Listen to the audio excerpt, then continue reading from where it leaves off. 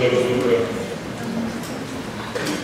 Сердечно поздравляю вас, дорогие братья и сестры, с первой седмицы Великого Поста. Маленькая группа наших прихожан каждый день приходила на богослужение. У нас были почти монастырские уставные богослужения. Мы начинали в 7 часов утра, кончали в 11 утра. Затем собирались снова в 6.30 вечера на чтение великого покаянного канона Андрея Критского. Вот эта маленькая группа наша, которая находила возможным освободиться от работы ради молитвы. Я думаю, что они лучше всех нас поняли умом и сердцем и приняли смысл Великого Поста. Это время усиленного боления, время усиленной молитвы, время воздержания не только от пищи, определенных видов пищи, но самое от своих грехов и страстей. На этих богослужениях утром я не считал, может быть раза десять читалась великая покаянная молитва преподобного Ефрема Сирина Господи, и владыка его, и праздности, и уныния, и умочая, и условия наши. Лучше целомудрие, смиренномудрие, терпение, любви, даруй врагу твоему. И, Господи, царю, даруй узреть моя прегрешение, и не осуждать брата моего, для благословения сего века. Аминь. Это не мы. Молитва. Вот такая молитва. А Многие ее знают, другие, может быть, не знают. А даже если вы э, родились и выросли в Советском Союзе, быть может, где-то вы находили э, видоизмененную форму этой молитвы э, у Пушкина. Наверняка его в полном собрании сочинений, во всяком случае, печатали. Он очень любил эту молитву. А, и все должны эту молитву любить, потому что в этой молитве содержится все то, от чего мы должны отвращаться, и все то, к чему все те добродетели, которые мы должны э, работать и стремиться, и стараться э, приобрести за 7 недель Великого Поста. И вот я очень сестры, что вы найдете эту молитву. А, Ее можно найти в любом а, молитвеннике. Посмотрите молитва под благодарение молитвы преподобного Ефрема Сирина а, или других молитвословах. Она находится в разделе Великопостных богослужений, Великопостных молитвословий. Там найдете ее и читайте, и встречаете, выучите ее наизусть. Она очень-очень поможет. Опыт церкви, нам говорит, на церковь знает молитву знает уже с, чуть ли не с 8 века и ввела как неотъемлемую часть э, великопостных богослужений. Что же еще мы пережили на? Ну, во-первых, э, прошлое воскресенье мы э, собрались вечером, начали уже литургическую сторону Великого Поста э, трогательным чином прошений за их ходили. Очень у нас было много народу, очень многие люди на службу.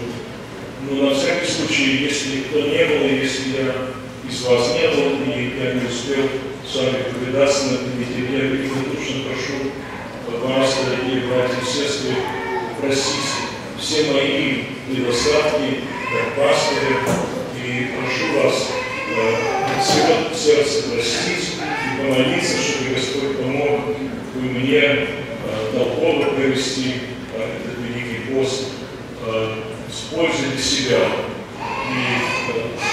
для вас. Простите меня. Бог простит.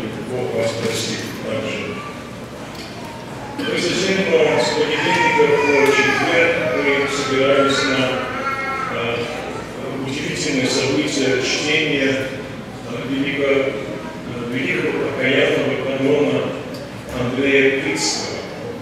Это большое поэтическое, литургическое произведение, э, составленное э, одним из великих писателей православной церкви Андреем епископом Критским. А, И это, этот канон э, разделяется на четыре части э, во время первой недели Великого Поста и читается во время Великого Вечерия.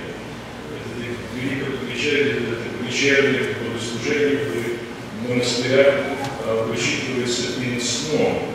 И вот этот колон вставляется в это э, великое увлечение.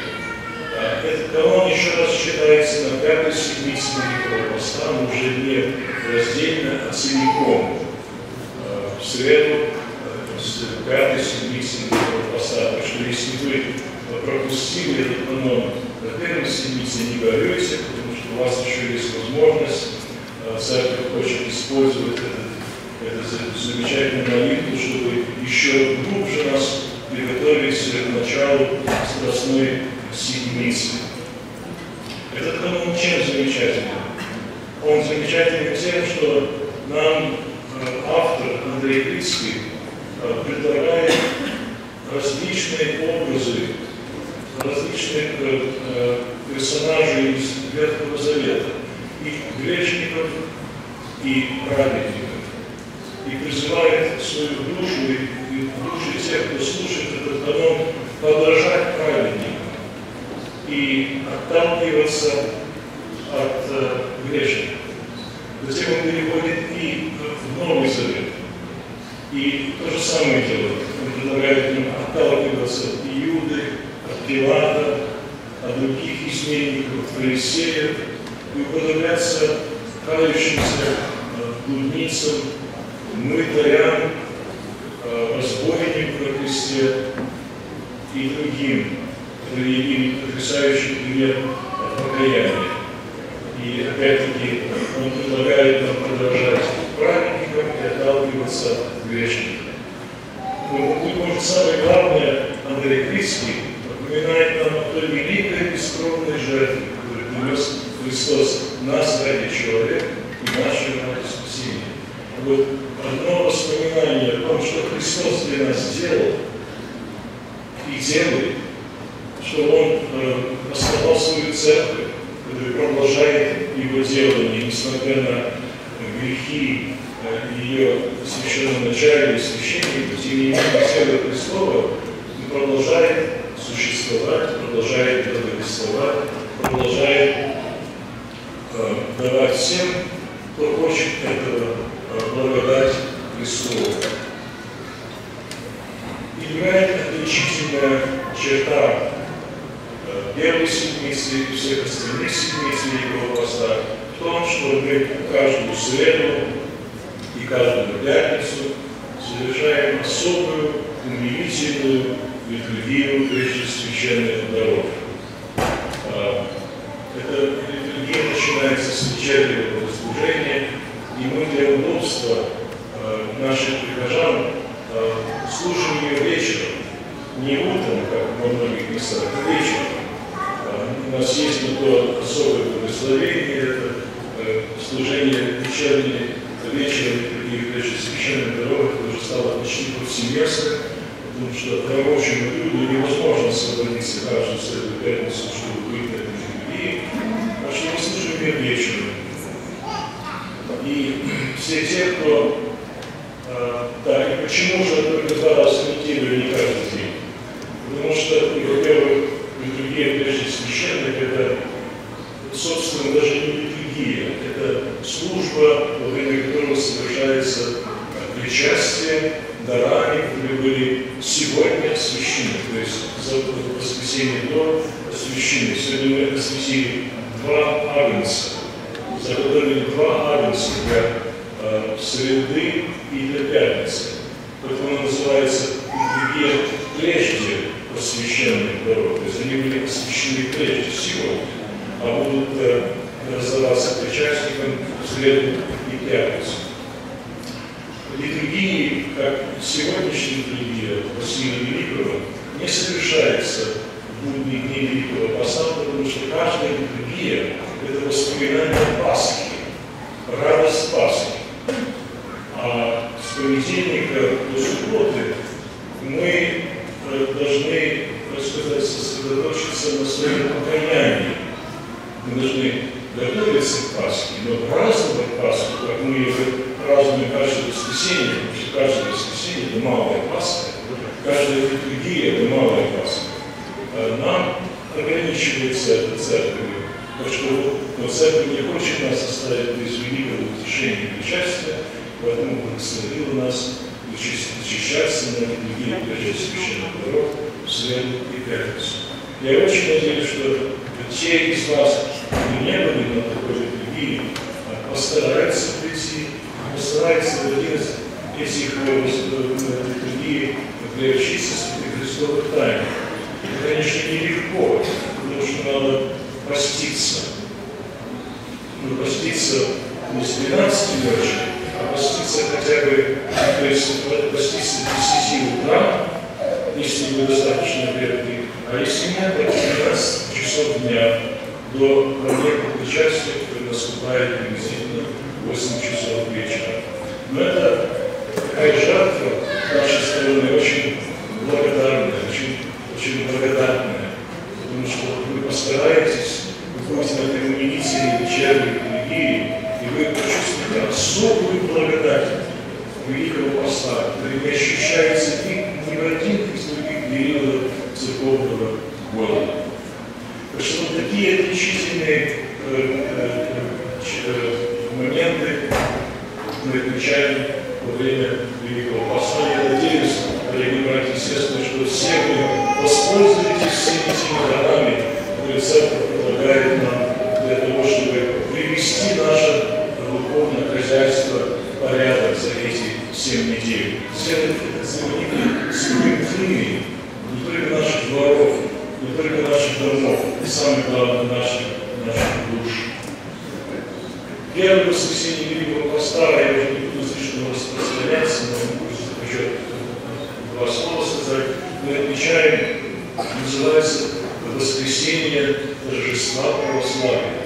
И сегодня мы вспоминаем э, ту победу, которую православное христианство одержало. Более сто лет продолжалось это страшное лжеучение иконоборчества.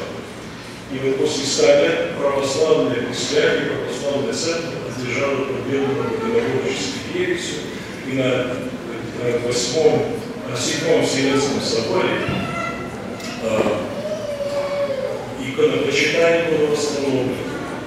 И очень стоит вам э, посмотреть в интернете, там будет гораздо, найдете гораздо более подробную информацию, почему церковь установила, э, почему церковь ввела, почему церковь боролась за иконы, и почему она разрешает нам иконы. Во-первых, что напомнит нам, что Христос Второе лицо это Святой Троицы, ведь Бог не видел. Второе лицо это Святой Троицы стал видимым. Он принял человеческую плоть. Он стал спасителем. Он стал человеком, таким же, как мы, кроме греха. То есть он был видим. И в силу, в силу Бога воплощения мы имеем не только право,